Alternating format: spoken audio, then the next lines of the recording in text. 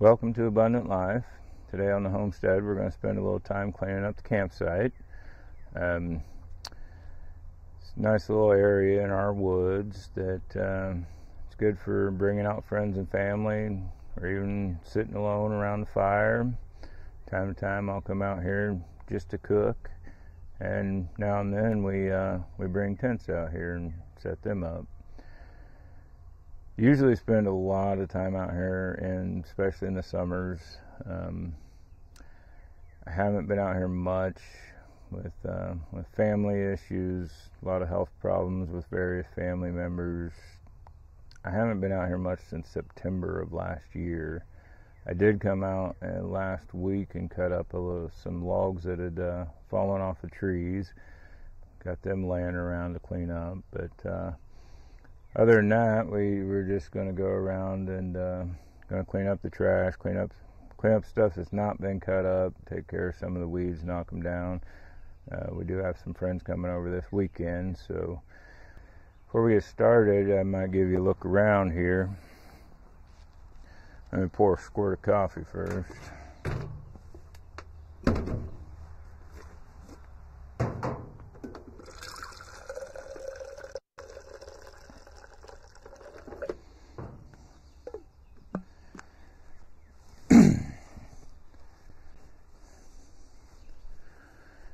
So growing up, we we spent a lot of time out here.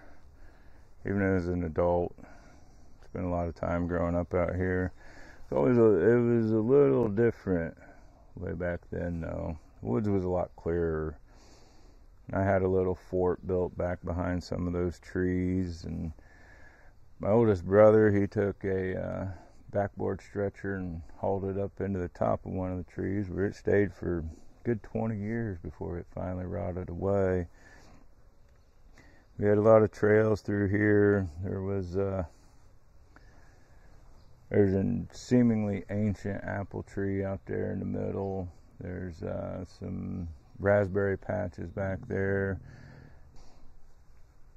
As you see, there's really not a whole lot for trails and such, though, because this place has been taken over a Japanese honeysuckle.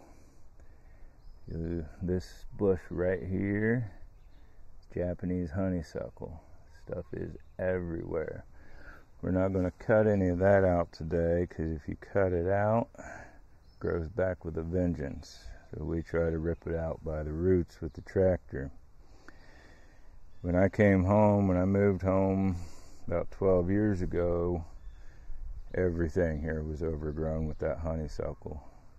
The horses used to keep it down, but knowing that I wasn't able to handle full size animals anymore, and they got rid of the last couple horses, and then the one, the one horse that had been with us all our life, she uh, she got old and died, and she's the only one buried out here. But the horses kept all that honeysuckle down, but once they were gone, it just it, it took over with a vengeance. Everything you've seen on the camera, everywhere you can see within a foot of the camera, is an area that I came in, started years ago, ripping out the honeysuckle, cutting up the dead limbs, just clearing us out a nice little place to enjoy and it's a constant battle every year.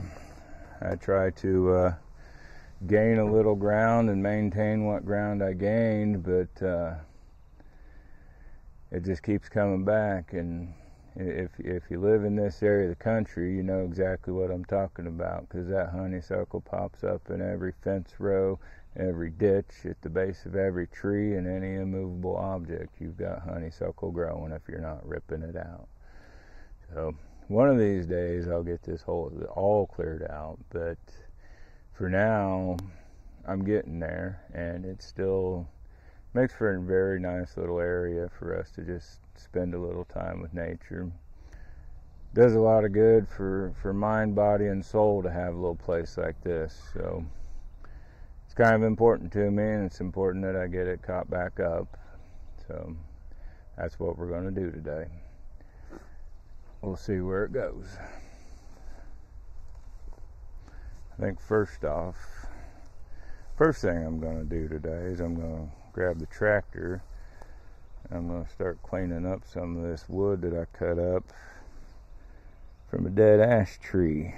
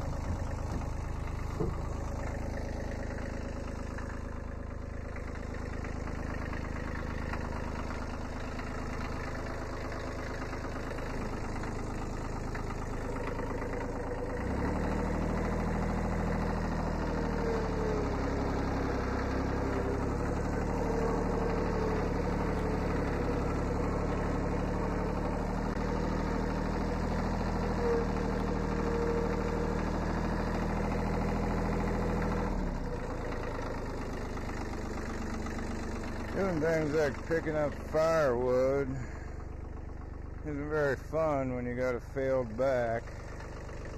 That's why I got the tractor. That's my back. And most of my muscle anymore. But I try not to let my own broken body stop me from doing some things. Stop me from as much as I want to, though. Probably two or three bucket loads to get all this cleaned up. And that's about it for the firewood.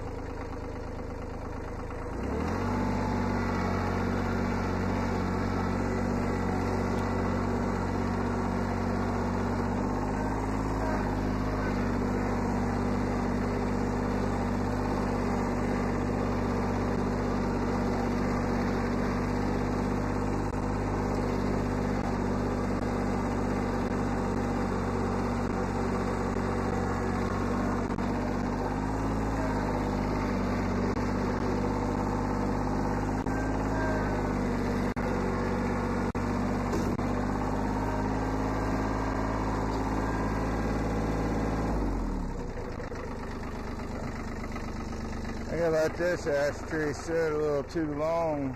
It's got some mushrooms growing out of it. It'll still burn, just uh, not as hot and as long as it does before it starts rotting. And still got a lot of good solid wood in it though.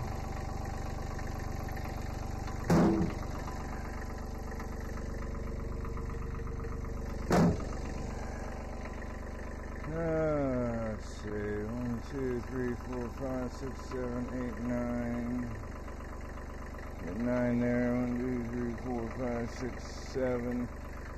I can fit eight in there and get it two loads. Oh, ant farm. Yep. Yeah.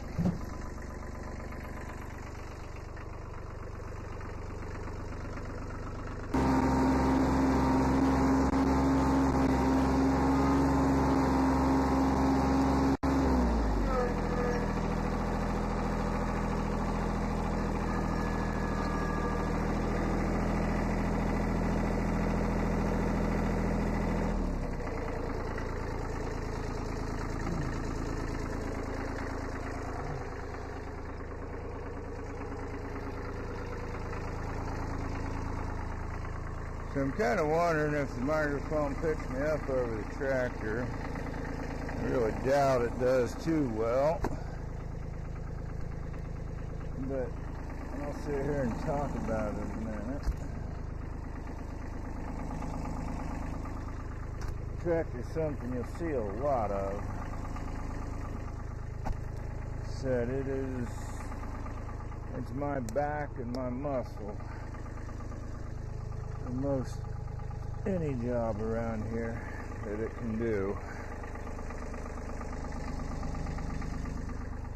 It's an old Kubota B7100. Funny thing is, I didn't know when I bought it. Found out sometime later looking up the serial numbers it dates to the same month and year that I was born. So, me and that tractor is the same age, but she's in a lot better shape than I am.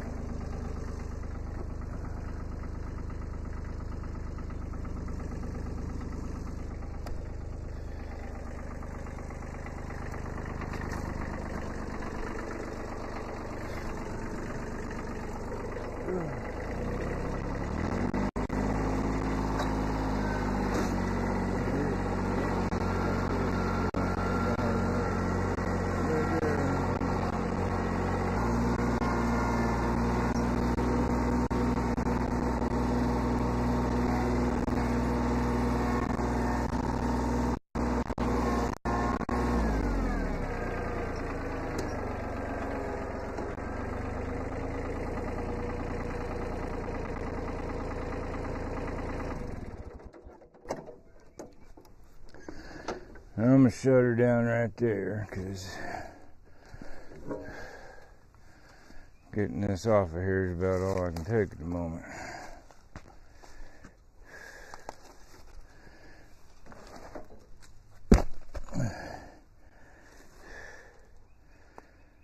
Probably the hardest part of uh, being disabled is not only finding but admitting to your limits. And sometimes it kind of sucks. I spent years in the army, spent years working in a log yard.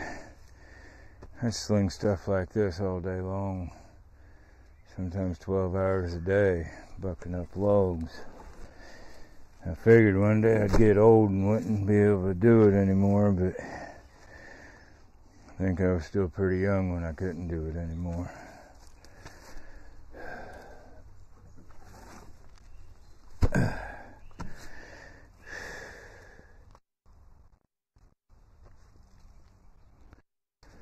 Yeah, that's probably I still do a lot out here today, but these two bucket loads is the limit of my hard work. Sit